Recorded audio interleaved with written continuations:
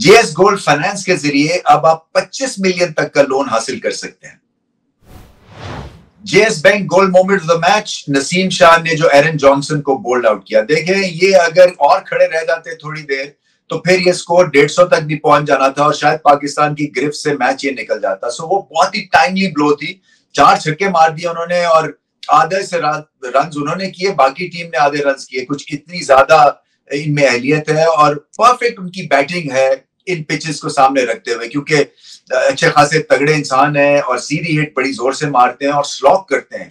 کئی دفعہ پچ ایسی آپ کو ملتی ہے جہاں پہ سلاگنگ بہتر آپشن ہوتا ہے، نہ کہ آپ گیند کے پیچھے آئیں، کیونکہ اگر آپ کریکٹ کرکٹ کھیلنے کی یا بیٹنگ کرنے کی کوشش کرتے ہیں تو ایج لگ جاتی ہے۔ تو انہوں نے ایسا موقع ہی نہیں دیا اور جہاں ہلکا سا گیند پیچھے یا آگے کیا، انہوں نے سلائس کیا، سیدھے چھکے بڑے اچھے مارے انہوں نے، اور ایک پاورفل اننگز تھی۔